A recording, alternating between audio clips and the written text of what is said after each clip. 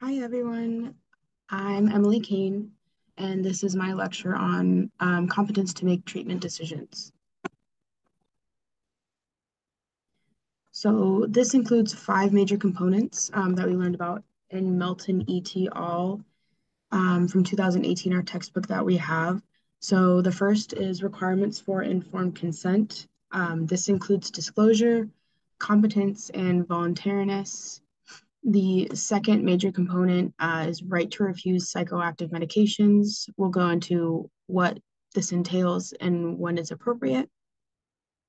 The third um, is research and informed consent. So like we saw from the first uh, component, it's also disclosure, competence, voluntariness.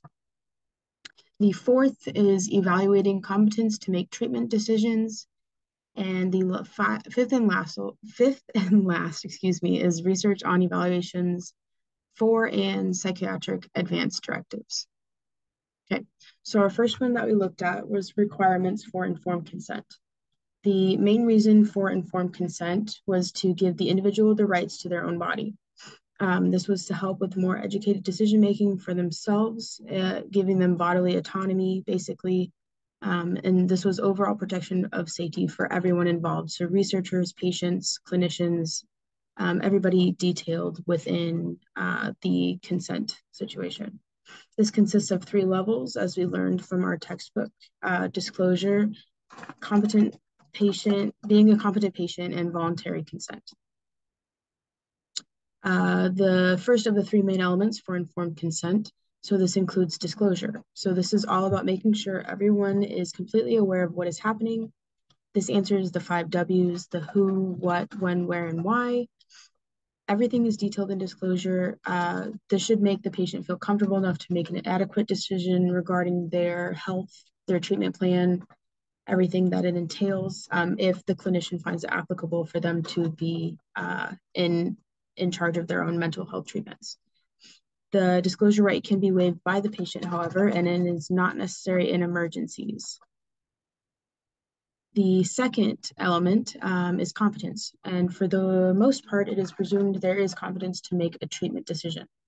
Only is recognized in certain situations, however, if the patient refuses the treatment given to them or prescribed by the clinician, the active clinician, um, or there is a major medical experimental procedure that requires informed consent um, actively consenting to what may happen with the experimental procedure and that the patient is cognizant of giving the informed consent so they understand why they have to give the um, verbal and a different type of consent. Voluntariness would be the third and last element for informed consent.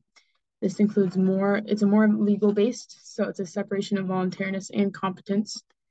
Uh, unfortunately, this can lead to poor legal decision making um, by the patient as well. The second uh, we learned about was the right to refuse psychoactive medications, also known as the right to refuse treatment. This deals with the refusal of antipsychotic drugs. Um, as we learned about Washington v. Harper, this um, case involved involuntary use of psychotic medications against an inmate.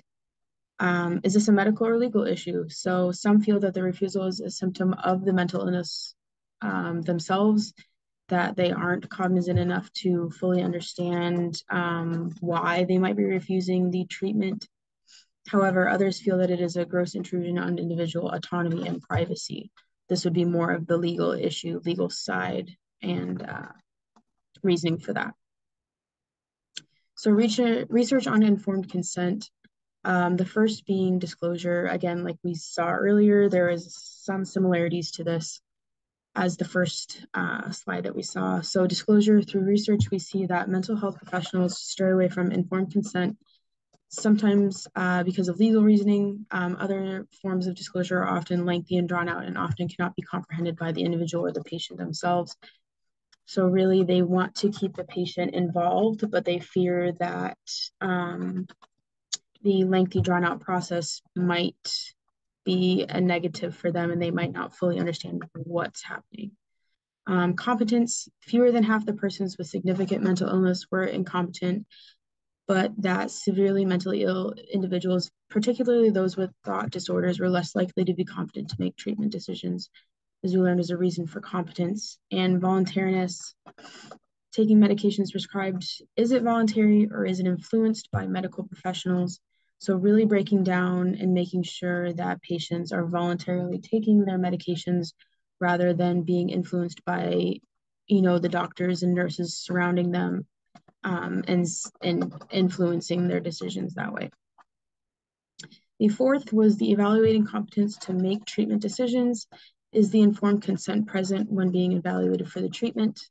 Um, is their consent actually at the time when the clinician is evaluating for their future treatment plan. Um, treating physicians may be present at time of evaluation or not, depending on if the um, psychiatric cl clinician feels that they may sway their opinion, like I talked about earlier. Patient knows and understands the purpose of their treatment, their benefits, the risks, different type of treatments, and possible benefits and risks of that different type of treatment um, having the patient tell them why this is important and useful for them in their own words, why they believe the treatment will work, why it might not work, um, being fully engulfed into why this treatment um, was given to them, why the plan for it, reasoning behind it, and obviously voluntary consent. The fifth and last one was research on and evaluations for psychiatric advanced directives, or PAD. PAD helps with decision making for treatment plans for the future. So there are three different types of PADs. Um, the first being a particular set of instructions for patients' understanding of treatments. So making sure um, that they are fully aware of every little detail that would go on within the treatment itself and making sure that they are cognizant of what it all entails, like I had just mentioned, risks, benefits, all the good stuff. Um, the second type is what helps them pick a proxy for decision making.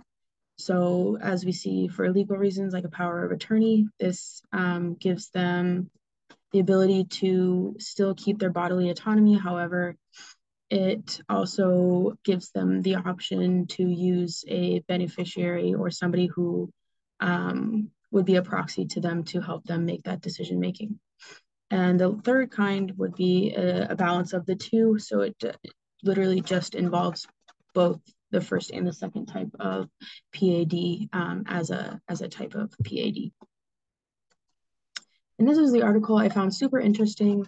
Um, it is competency and cap capacity to make treatment decisions a primer, excuse me, a primer for primary care physicians. So basically this is just showing a through Z as to why competency and capacity um, for medical decision making is super important and why we um, need to have it. Lastly, my question What would be an extreme circumstance that would not be able to apply all five components to com competence to make treatment decisions? Would there be legal ramifications? Why or why not? Uh, thank you for listening, and I hope you enjoyed.